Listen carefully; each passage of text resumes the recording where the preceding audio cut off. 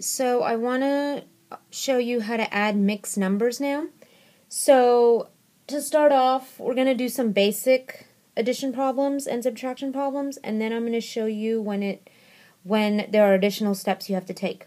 Now the reason I write it up and down is because the strategy I use, you it's easier to write it up and down. So naturally, the first steps are to add the whole numbers and then add the pieces. So here's a visual for you to see. So I show 2 and 1 half and 1 and 1 half. And the question is, what is it added together? Like, what's the sum? And so your first thought is to, your first step is to add all the whole pieces together. So that would be 3. So on here, you would do the same thing. You would do 2 plus 1 is 3 whole pieces. Then your next step is to add the small pieces. So then right here, you take that and then you put that one there and you notice that it makes one whole. So when you do one half plus one half on the side, you know to add the top numbers only. So that's two halves. Well, two halves is equivalent to one.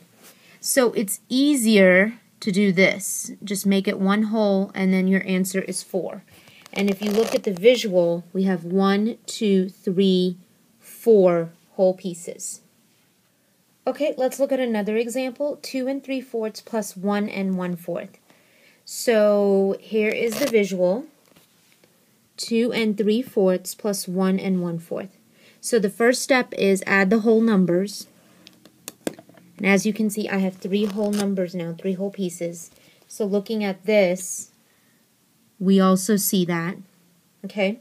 Then the next step is to add the little pieces together and see if you can create one whole from it. And from that, you can see that. And so when you add 3 fourths plus 1 fourth, I usually show it sideways so my scholars can see that because we're used to adding fractions sideways. So 3 fourths plus 1 fourth is 4 fourths. Well, 4 fourths is equal, equivalent to 1 whole. So 3 plus 1 equals 4 whole pieces. And looking at that, that's exactly what we have. 1, 2, 3, and then this one got replaced as 1 whole. Okay, let's look at this next example. 1 and 4 fifths plus 1 and 2 fifths. So, I'm going to go ahead and um, do as much as I can using the steps and then you're going to see that there's an additional step you have to take. So step one is add up all the whole numbers. So 1 plus 1 is 2 whole.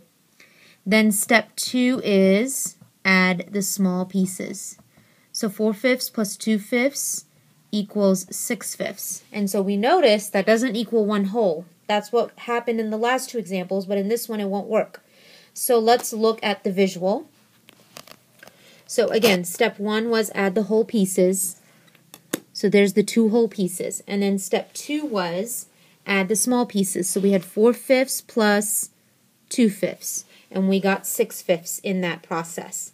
Now, we know that 5 fifths equals 1 whole.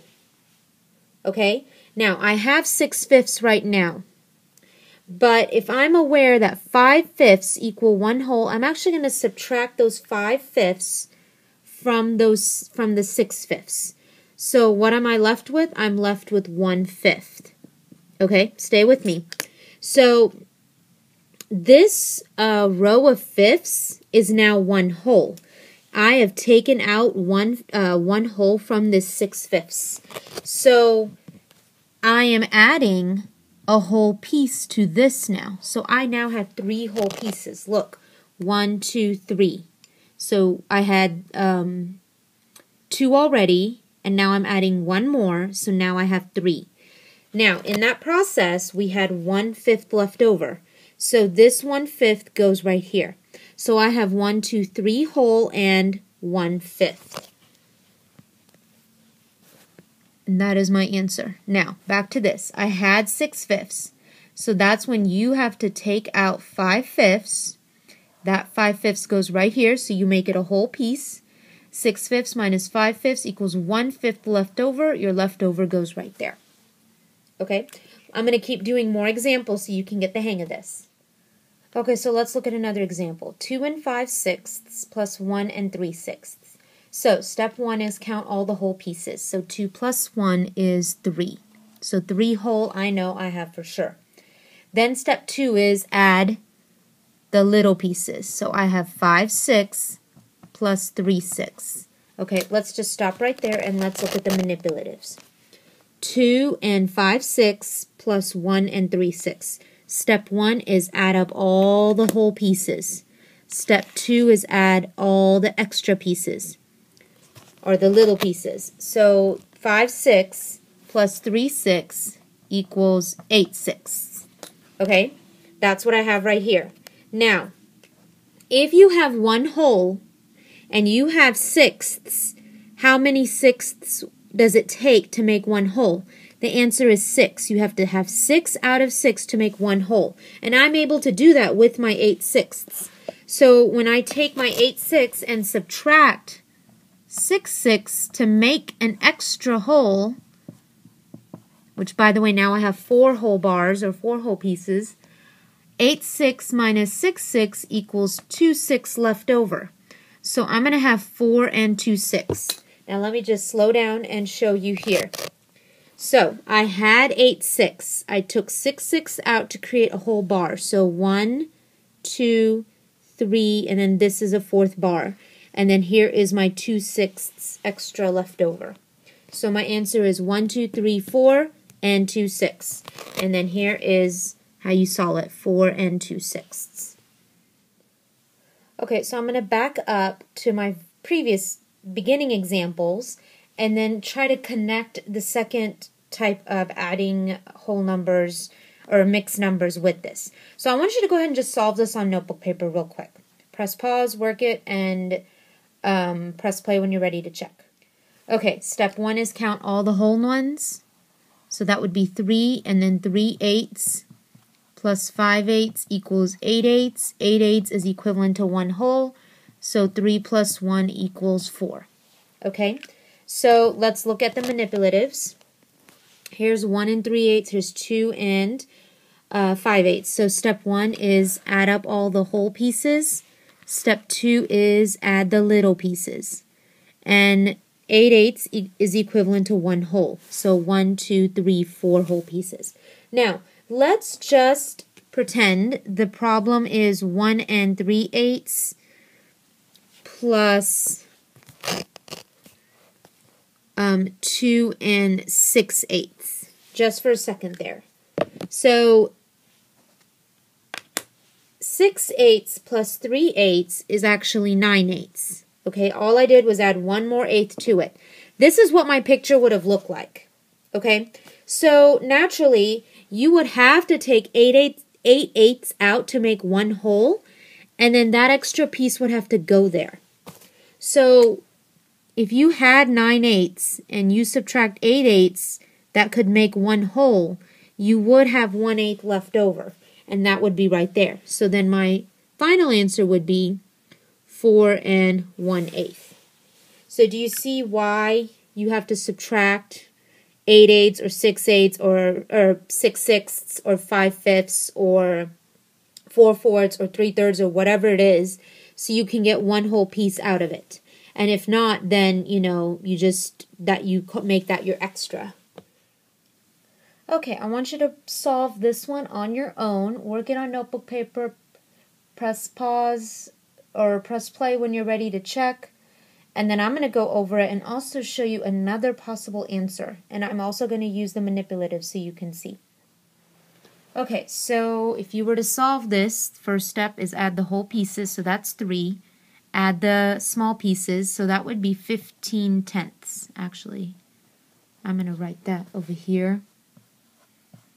Okay, 15 tenths. Now, if it's since it's in tenths, I'd have to take out 10 tenths that would equal one whole, and that's possible.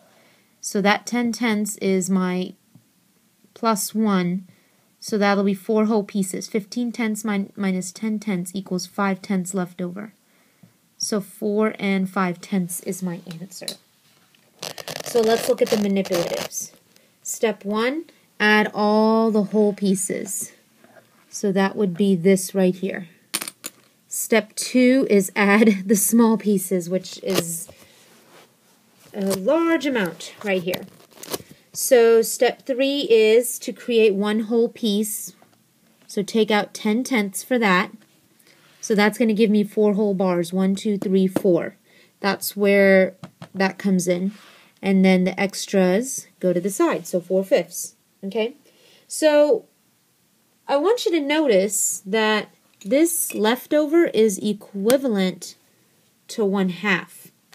So another possible answer could be four and one half.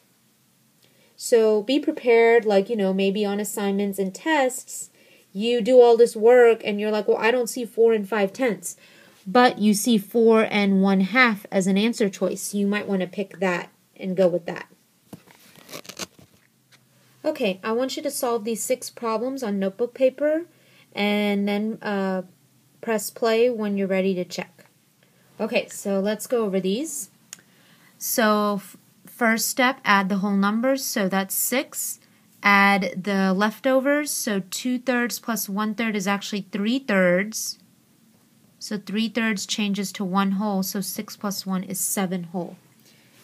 3 and 2 fifths plus 2 and 3 fifths the whole numbers is 5. The little pieces is 5 fifths, which equals to 1 whole. So my answer is 6. Whole numbers is 9. 7 tenths plus 4 tenths is 11 tenths. I'm going to take out 10 tenths to add 1 whole here. 11 tenths minus 10 tenths equals 1 tenth. Sorry if that got a little cramped. 8 plus 6 is 14 whole. 2 ninths plus 8 ninths equals 10 ninths. 9 ninths equal 1 whole, so I'm going to take out 9 ninths from there and add that over here. And I will be left with 1 ninth. So 15 and 1 ninths is, or 1 ninth is my answer. Next one, 4 plus 4 is 8. 3 fourths plus 3 fourths equals 6 fourths. I'm going to take out 4 fourths so I can add 1 whole here. So that equals 9. 6 fourths minus 4 fourths equals 2 fourths. So 9 and 2 fourths, or 9 and 1 half. This one is 22. 4 eighths plus 7 eighths is 11 eighths. 11 eighths minus 8 eighths, 10, 9, 8, 7, 6, 5, 4, 3 eighths so I'm going to add one whole here, 23 and 3 eighths left over. Okay, let's look at subtracting whole uh, mixed numbers now. Let's look at subtracting uh, mixed numbers now. Subtraction is so much easier than adding mixed numbers. So easy. I'm going to just show you like two, three examples and then you're ready to check. So 2 and 3 fourths minus 1 and 1 fourth. Let's look at the visual. I'm not going to have 2 and 3 fourths and 1 and 1 fourth over here because that would have been addition. You're given your 2 and 3 fourths and you need to take away 1 and 1 fourth. So it's that easy. Take away 1, take away 1 fourth, you're left with 1 and 2 fourths. When you do this over here, same thing. Start with subtracting the whole numbers. So 2 minus 1 is 1. 3 fourths minus 1 fourth equals 2 fourths. My answer is 1 and 2 fourths, which is exactly what I got over here. Okay, let's look at this next one. 2 and 4 fifths, fifths minus 1 and 1 fifth. So I have 2, sorry, 2 and 4 fifths ready to go. And we're going to take away 1 and 1 fifth from it. So we're going to take away one whole take away one fifth. I'm left with one whole and three fifths. So when you do this over here, subtract the whole pieces first. So 2 minus 1 is 1. 4 fifths minus 1 fifth, sorry, is 3 fifths. So 1 and 3 fifths. See, subtraction is so much easier. Okay, I only have like a few more seconds left on this section of the video. I want you to work these problems and then check them. Here are the correct answers. Be sure to watch uh, the next video on the same TEK. It's